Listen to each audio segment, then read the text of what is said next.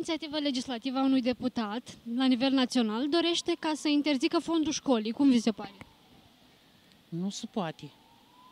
Totuși trebuie să fie un ban acolo la școală pentru copii. Mai trebuie una alta.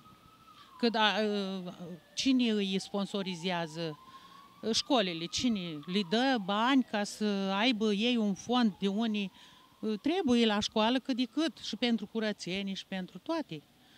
Dâns și profesorii merg la școală, dar nu vine cu banii de acasă sau cu detergentul, cu ce trebuie la școală, trebuie cât de cât un fond, fiecare să pui, că măcar să ajute ca să cumperi ce trebuie.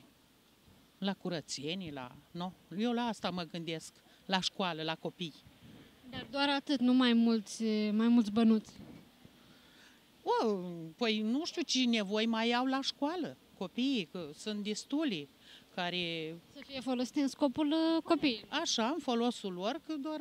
Și înainte, când am fost noi la școală, să știți că se strângea un fond care, deci, era pentru cretă, pentru buretele de la tablă și doar am fost acum 60 de ani mai mult la școală, nu?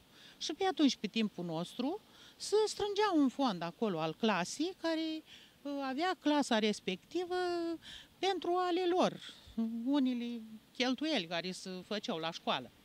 Nu, nu știu, sincer, despre ce este Sunteți de acord ca elevii să dea bani la școală?